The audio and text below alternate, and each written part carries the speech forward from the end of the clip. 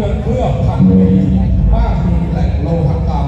ตำนานลานครับปราสาทราชบัณฑาวัดป่าพระสบาย ชายแดนผิวทัดน์กาตาตานการค้าช่องสายตะกู โดยนายบุญเต